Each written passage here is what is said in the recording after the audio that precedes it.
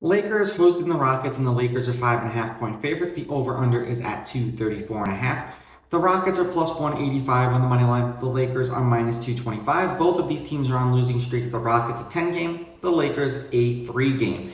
Now, head to head, the Lakers are 9 and 1 in their last 10 meetings against the Rockets. The favorite is 6 and 4 against the spread, while the favorite is 9 and 1 on the money line. The over has hit in their last 3 games. The over is 6 and 4 in their last 10. The home team is 5 and 5 and the under 234 and a half specifically is 6 and 4. In the last game they played against each other, the Rockets did win. They won 139 to 130 in overtime at home. The game before that, the Lakers won 132 to 123 in Houston. The game before that, the Lakers won 119 117. The game before that, the Lakers won 95 85. This game is going to be really heavily dependent upon what players are playing. And seemingly the Rockets play kind of up to their opponent and down to their opponent, but they're more even when it comes to their opponents because they lose to both bad and good teams, unlike some of the other bad teams who only lose to the bad teams and compete with the good teams. The Rockets are 18, 24, and 1 against the spread. The under is 22 and 21 in the games in which they played in,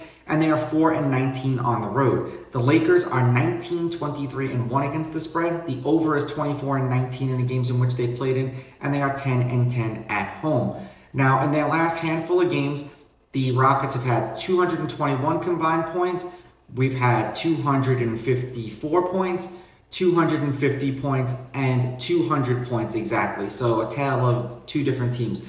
The Lakers have actually come down to earth lately and have been playing defense.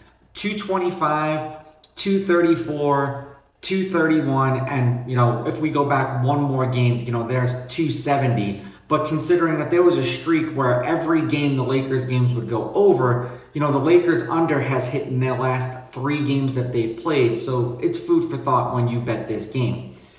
I'm going to take the Lakers with the money line. I'm going to take the Lakers laying the points.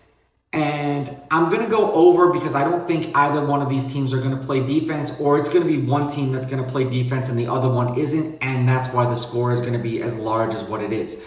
These are just my picks. If you disagree, please go with your gut and please bet responsibly.